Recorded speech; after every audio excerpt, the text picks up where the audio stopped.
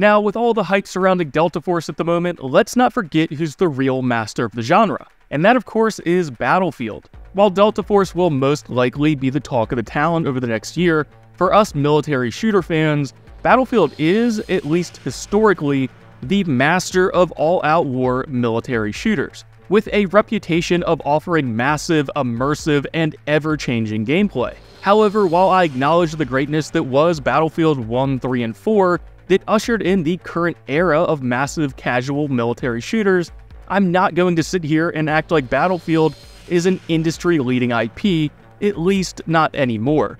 With the marketing fumble of Battlefield 5 and disastrous, well, everything that was Battlefield 2042, that's why I and so many other fans of the genre are excited and currently enjoying Delta Force, a game that's finally making good on the promises of Battlefield 2042 and just with its alpha, showing that an industry leader like Battlefield has zero excuses to not be offering more content at a larger scale and higher quality. In fact, Delta Force's alpha is already proving that this genre and this sort of content is viable, and if anything, the next Battlefield should have every right to reclaim its identity and take back its position from the new kid who's trying to copy their homework. While Battlefield has been great in the past, for at least six years, the franchise has slipped out of the gaming zeitgeist and left its throne unattended. What I'm trying to say is that if Delta Force can come out of nowhere, offer a larger, more content-rich experience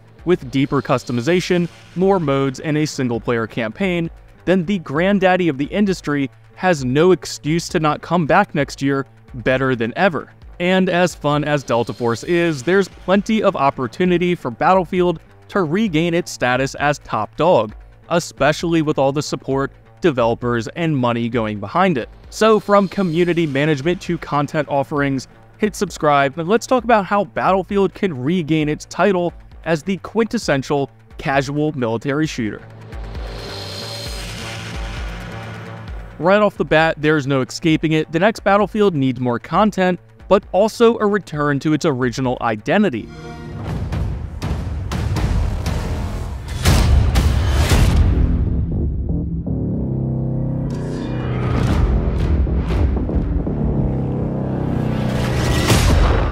And I don't just mean more maps like so many fans keep asking for.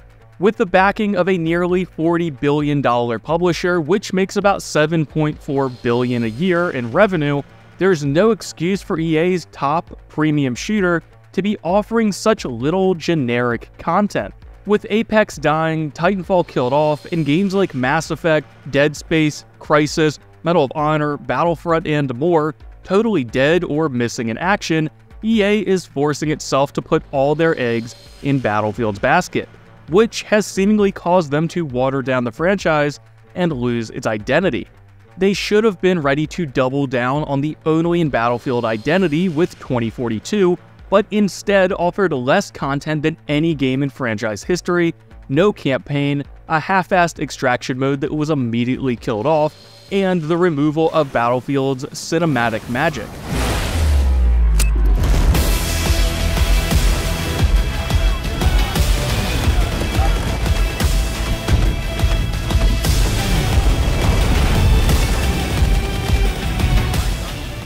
Whether it was laziness, cost cutting, or technical shortcomings during 2042's production, the franchise cannot repeat that huge drop in quantity and removal of its core identity.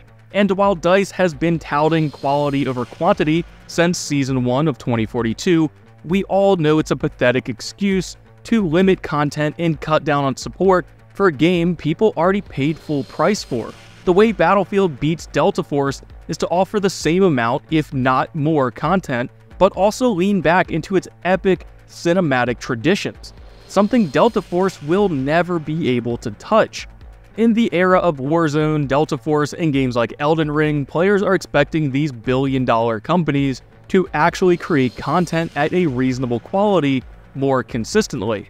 Something Battlefield has always been able to do with great pride until they suddenly forgot with 2042. Much like Delta Force, the next Battlefield needs multiple pillars of gameplay with an expanded all-out war experience, the return of single-player content, and at least one third mode, like co-op missions, a totally reworked portal, map editor, or something trendy like an extraction mode. And before you start commenting about how all we need is more maps for core modes like Conquest, remember we used to get things like co op modes, campaigns, rental servers, DLC war stories, and more.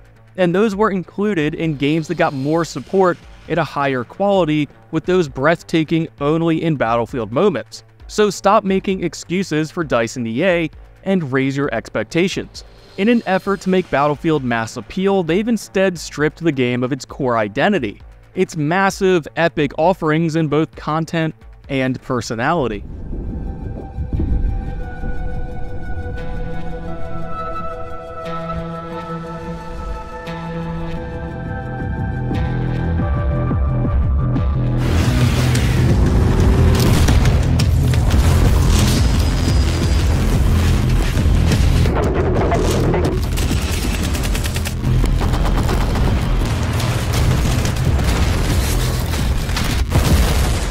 A big part of this return is that Battlefield needs to double down on that classic identity that made it an industry leader. The next game and all its content needs to recapture the massive scale in cinematic moments that made players think only in Battlefield. An identity games like Delta Force, Insurgency, COD, and Grayzone could never come close to. Not only does this game need to deliver more content, but simply cranking out generic maps like Battlefield 2042 isn't enough. It needs more content with the heart and soul that games like Battlefield 4 delivered on over a decade ago. EA, in their own words, says they have multiple world class studios working on the next project with cutting edge technology that will produce the greatest Battlefield ever. So don't take my word for it, take it directly from the mouth of Andrew Wilson. The next title needs more high quality, true Battlefield content than any game before it and there's no more excuses, something even the executives acknowledge. Next up, not just do we need more maps, weapons, and content, but the player systems like progression and gun crafting need a ton more depth. Again, something Battlefield used to be actually pretty decent at with games like Battlefield 4. But since Battlefield 1, the franchise has been falling behind, creating empty progression systems limiting weapon customization, and not rewarding the player for their time and achievements.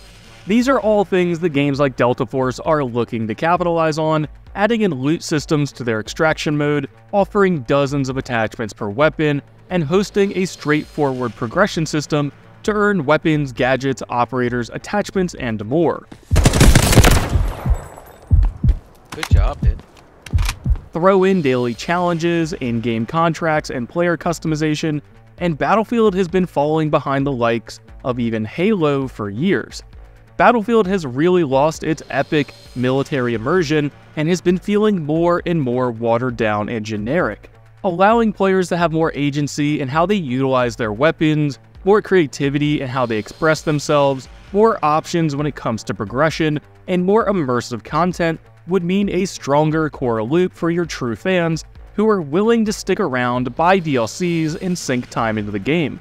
Now, obviously, the more systems the game has, the more opportunity EA has to destroy them with monetization. But that brings me on to my final point. Now, I can't believe the fanbase has to continue preaching this, but holy shit, EA, listen to your actual paying customers.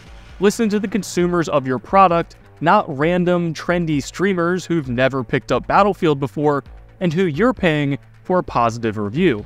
Host actual, genuine closed alphas like Delta Force did with senior Battlefield creators like Jackfrags, Matimio, and the rest. Talk to the actual people who are going to pay for this game. Take their feedback on board and remove stuff like the specialists, bring back features like RSP, and get fans involved in the process. Because whatever focus groups or aging board members you're listening to have no idea what the actual audience wants. And while I'm on the topic of community feedback, DICE and Battlefield need to totally revamp how they interact with their fan base of paying customers. The way DICE and Battlefield's Twitter has just become an automated page pushing cosmetics is a total joke. While community managers from games like Delta Force are out there engaging with real creators, reposting organic content, answering questions, and getting ahead of potential issues like pay to win. However, perhaps when your staff are busy on Twitter harassing fans after DICE scammed them with the release date of 2042, maybe it's best to just limit all communication. But in all reality, DICE, EA, and Battlefield need to reform how they engage with the fanbase.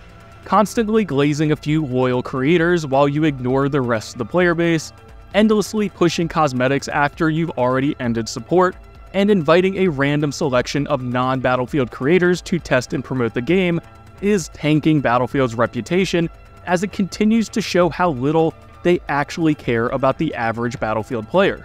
In total, Battlefield has the money, the staffing, and the experience at this point to make an incredible game.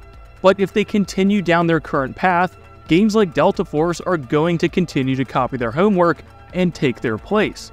Battlefield has neglected its original identity and offered such little value to fans over the past few years that they've left the door wide open to competitors. And while almost nothing can beat the greatness that was Battlefield 3 or 4, that peak was 13 years ago, when Battlefield was truly innovative. They have every ability to look at the market, put their massive staff to work, and reclaim their top position, but at the end of the day, I'm not too sure that they will. But guys, will Battlefield regain their position atop the market? Drop those comments below. Stay tuned and subscribe for all things Battlefield and Delta Force. And as always, thank you guys for watching.